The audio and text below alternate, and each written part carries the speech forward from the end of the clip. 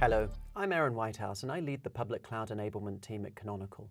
We're responsible for the optimizations, the offerings and the integrations of Ubuntu technology with the public cloud partners.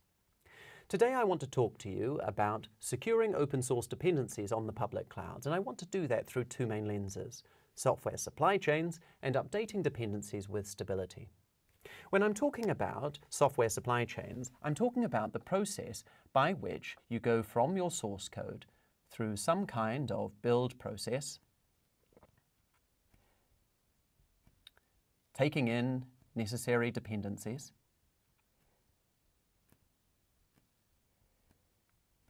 and producing some kind of software artifact, perhaps a package.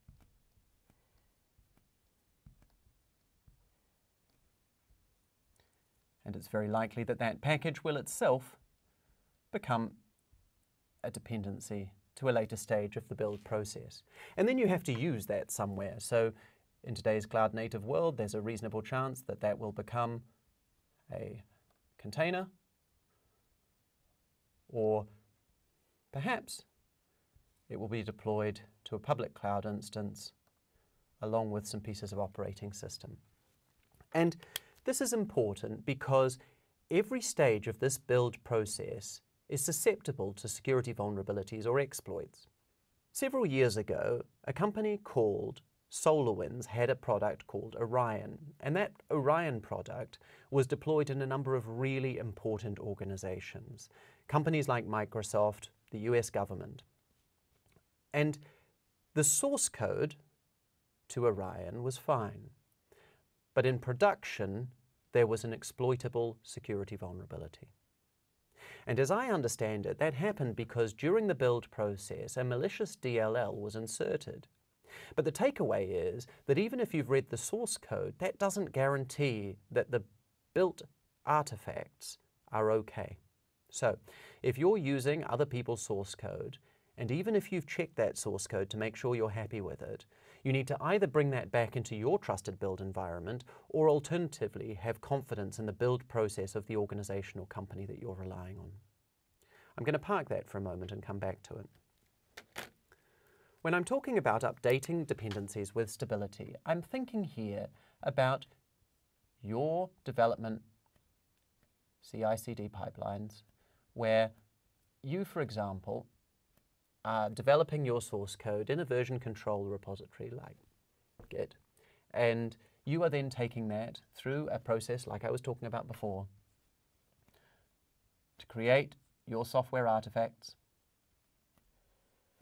And then you put that through some kind of process, probably some quality assurance, maybe some user acceptance tests, before ultimately those go into production. And if you have a security vulnerability in your code, that's fine. You cut a new release, you take it through the process, you released a prod, fixed your vulnerability. But one of the challenges is that it's not just your code. You're nearly certainly going to have dependencies, very likely open source third-party dependencies. And those people are on a different timeline to you, cutting their own releases when they see fit, and not according to your stability schedule.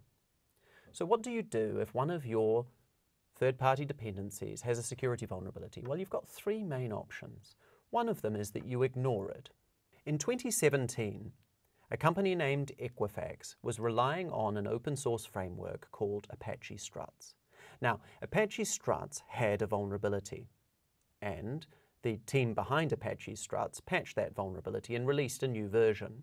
But Equifax didn't roll that new version out to production in the following months, and they were exploited, leading to the potential compromise of approximately 150 million individuals' personal data, a class action lawsuit, and other consequences for that company.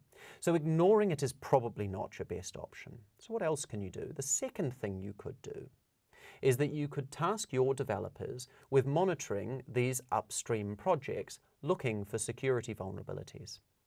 When they find them, they can have a review and try and decide how best to incorporate those security fixes into your product.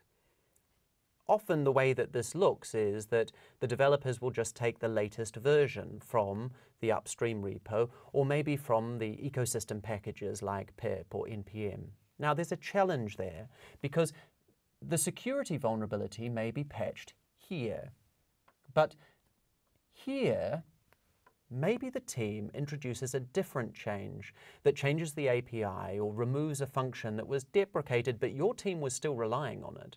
And the consequence of that might be that your product doesn't function the same way it did before. Maybe it's broken now that it's incorporated this new version of the, of the dependency. And so really, you should be going through your quality assurance process again, maybe even your user acceptance tests, before you roll that out to production, which slows you down and uses your developer time. So we've looked at this problem and tried to come up with a solution that we can roll out to our customers.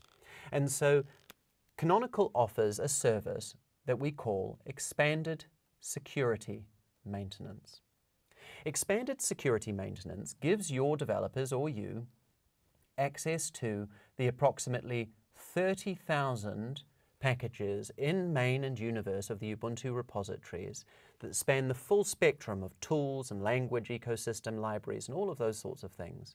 And if your team builds on those packages, then if there's a high or critical CVE in those dependencies, then Canonical's security team will take that back, just that security fix, back into the version of that package that you're using from our repos, put it through that same trusted build pipeline that you're already relying on for the operating system and other packages from us, so you're not expanding that set of build systems that you have to trust.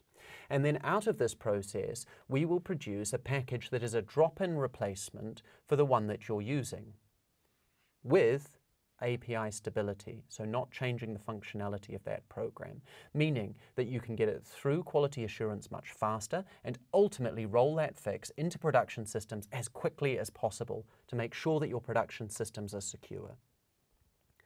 Now, normally in a data center, you would enable this through a collection of security features that we put together into a package called Ubuntu Pro. And often you will purchase an annual token, or if you're one of our community members or an individual, you can obtain a free token to access these entitlements. But we've worked together with our public cloud partners to make this as seamless as possible for people wanting to use Ubuntu Pro on the public clouds. So if you're on one of the big three public clouds, then this is as simple as looking at the platform images or the marketplace images from Canonical and looking for the ones labeled Ubuntu Pro. If you launch one of those, then behind the scenes, we work with the clouds to make sure that those are properly authenticated, added to your cloud bill so you don't need to worry about a separate procurement relationship. And then from the minute you launch them, you're going to have access to expanded security maintenance and all the other security benefits of Ubuntu Pro. So, in summary, software supply chains are really important. Even if you've reviewed the source code to your dependencies, if you're not taking that into your own trusted build environment, you need to be confident that the build system that that package has gone through meets your requirements for security.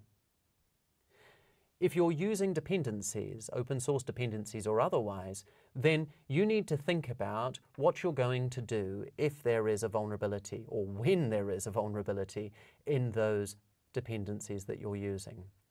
And either you need to be allocating the development resource in your development teams to review the upstream security vulnerabilities and incorporate them properly into your code with the security and stability requirements that you have, or alternatively, maybe you want to have a look at ESM. I've been Aaron Whitehouse. Thank you very much for your time.